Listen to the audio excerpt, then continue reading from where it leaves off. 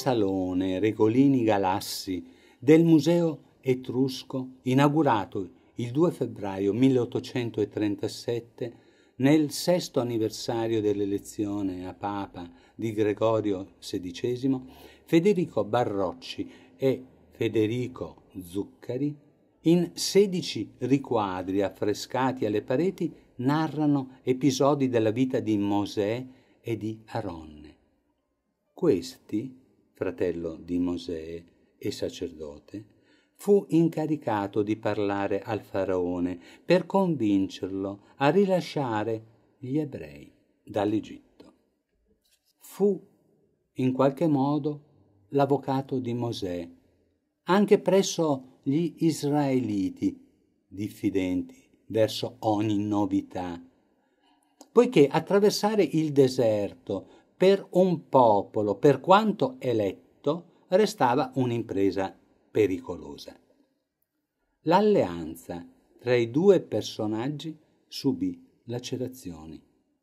Nell'adorazione del vitello d'oro, uno scivolone di Aronne e nel maldestro tentativo dello stesso di scalzare dal comando Mosè, uomo di poche parole e buone azioni, dovette rivedersi e chiariti i rapporti tra i due, procediamo con il dolente prologo alla Pasqua di liberazione. Dall'Esodo e aggiunse io sono il Dio di tuo padre, il Dio di Abramo, il Dio di Isacco, il Dio di Giacobbe. E Mosè si coprì la faccia perché non ardiva volgere lo sguardo a Dio che a lui si rivela nel roveto ardente senza consumarsi. Un vento caldo l'alimenta, solo Mosè sente la voce.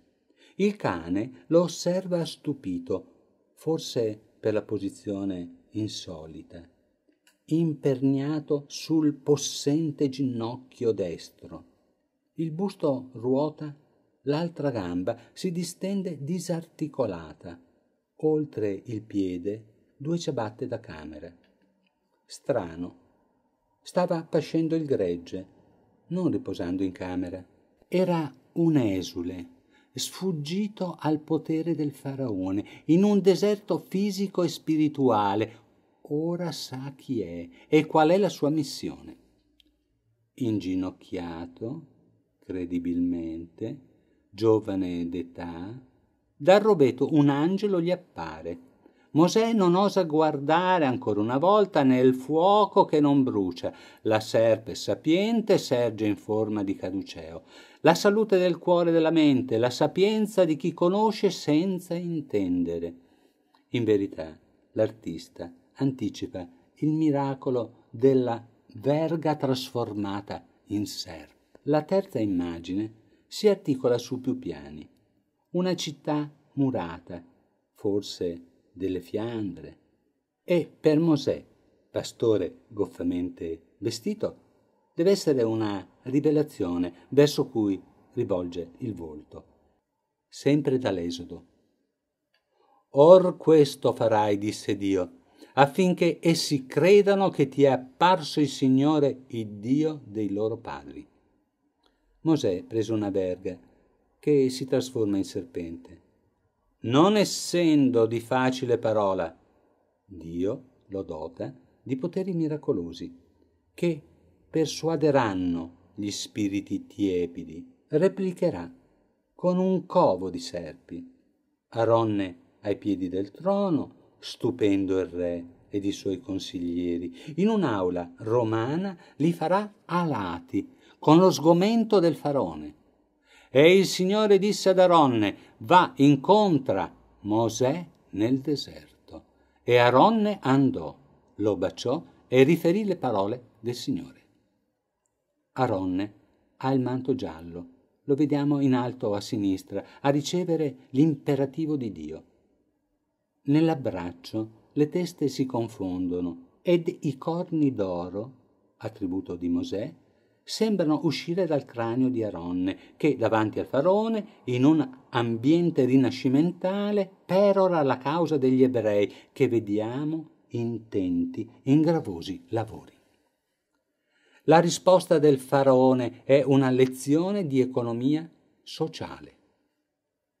È già troppo numeroso nel paese questo popolo, e voi vedete quanto è cresciuto e quanto si moltiplicherà se date loro qualche sollievo dai lavori. L'uomo, dalla parola rara, agisce secondo le istruzioni del Signore, ordinando ad Aronne di gettare la sua verga subito mutata in serpenti.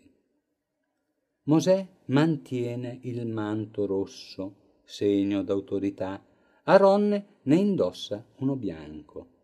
Tuttavia il cuore del faraone si indurì, le mani mostrano il suo distacco. E con questo, sembra replicare, chiama i suoi maghi che gettano i loro bastoni che, per qualche magia egizia, si trasformano in serpenti. Ma la verga, tornata tale, li divorò. Non bastò ed iniziarono le piaghe. L'acqua del Nilo si macchia di sangue. Mentre Mosè ed Aronne mantengono un aspetto costante, i faraoni sembrano cambiare. Gli eventi narrati nel testo biblico coprono infatti secoli e secoli. Come annunciato da Mosè al faraone, su indicazione di Dio, il flagello delle rane colpirà il paese, entrando nelle case, persino nella camera del re.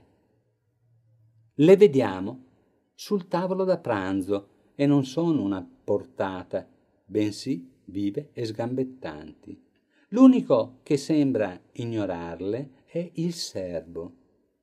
Le piaghe colpiscono i potenti.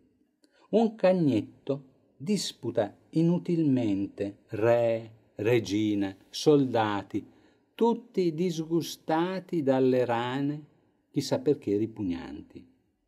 Non basteranno neppure le zanzare chiamate dal battere del bastone. Il farone alza gli occhi al cielo, i saggi smanettano ed un soldato si gratta. Le punture sono fuori, due guardie vengono atterrate ci si gratta persino sotto l'elmo, corpi contorti, sbraccati. Un campanile romanico, al colmo di un colle, assiste, indifferente come Mosè, in manto aureo. Si legge sui campi, cavalli, asini, cammelli, buoi e pecore cadrà tremenda pestilenza. Mosè è afflitto non loro è la colpa. Tuttavia anche gli uomini soffriranno. Si legge. Morirono tutti gli animali degli egiziani, mentre quelli dei figli di Israele non ne perì neppure uno. Ma il cuore del faraone si indurì. Mosè ha lanciato in aria la cenere che ricadendo provocherà ulcere e pustole su uomini e i pochi animali sopravvissuti. Lo zuccheri rappresenta Mosè mentre annuncia la sesta piaga.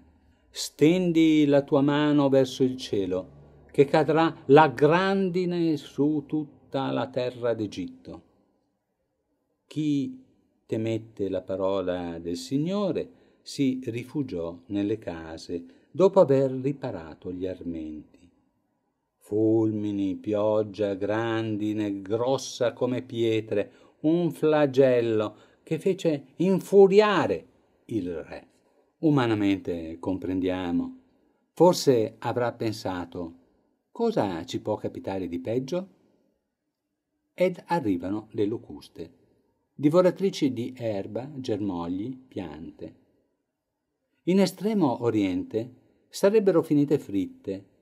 Qui provocano disgusto, carestia, fame.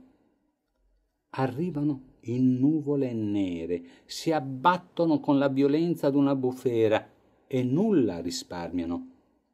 Il faraone, indifferente alle sofferenze del suo popolo, osa sfidare Dio. Stendi la tua mano verso il cielo e cadranno sopra la terra d'Egitto tenebre così dense da potersi palpare. Non è una semplice eclissi. Era buio pesto, nessuno osava muoversi, immobilità, preannuncio della morte, che verrà con la decima da pagare al Signore degli ebrei. Ed i primogeniti saranno il capro espiatorio di una sfida sciagurata tra storia umana e disegno divino. Il Signore, incredibilmente, si stancò. Disse a Mosè e al suo popolo accampato davanti al mare, perché gridi? Alza la tua verga! E le acque si divisero. Gli ebrei attraversarono il Mar Rosso e si richiusero al sopraggiungere dei cocchi e cavalieri egizi, travolgendoli.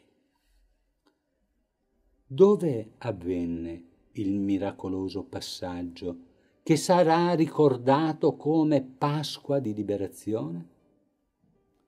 Probabilmente l'attraversamento della punta a nord del Mar Rosso, una zona paludosa. Il vento forse spirò per l'intera notte, così è scritto. Può aver prosciugato un tratto di quel mare, anzi palude, favorendo il passaggio.